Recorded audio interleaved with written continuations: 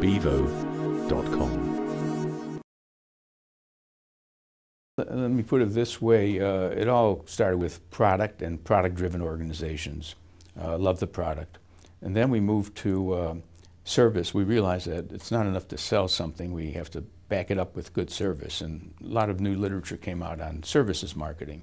Not only services marketing for hard physical products, but also uh, services marketing for uh, intangible firm, firms selling intangible services like uh, the hotel and the airline and so on, which disappear after they're over.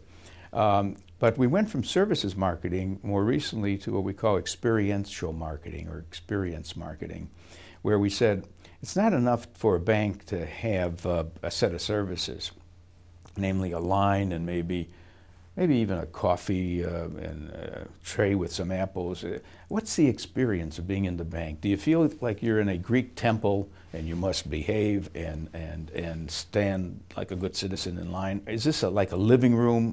What, what is the uh, context and the atmospherics of the place that you, you bring your customers? How, they feel good? Is there any uh, trust and liking and other emotions coming in that relationship you're trying to form with the customer. So we call that really a design problem.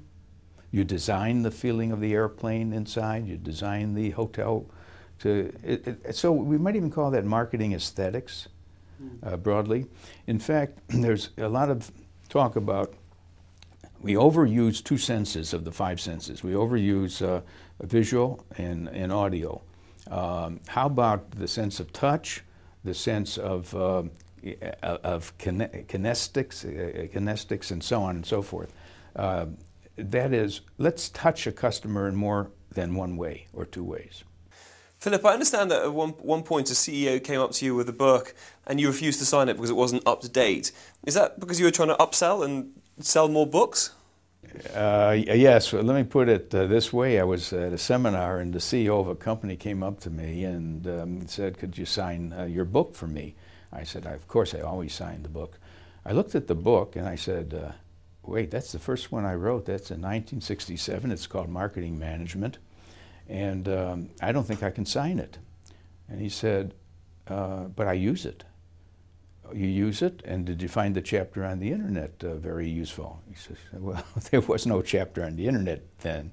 And I said, what about the concepts of uh, customer lifetime value, brand equity, customer equity? Are you making a lot of use of those and measuring those things? I mean, like, is your uh, brand equity uh, growing or flat or declining?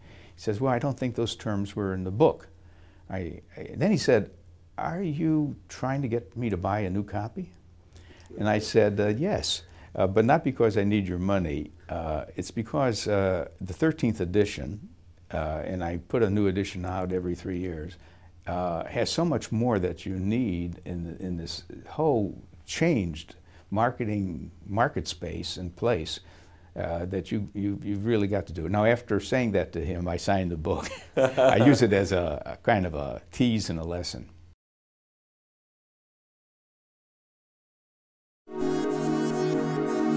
Bevo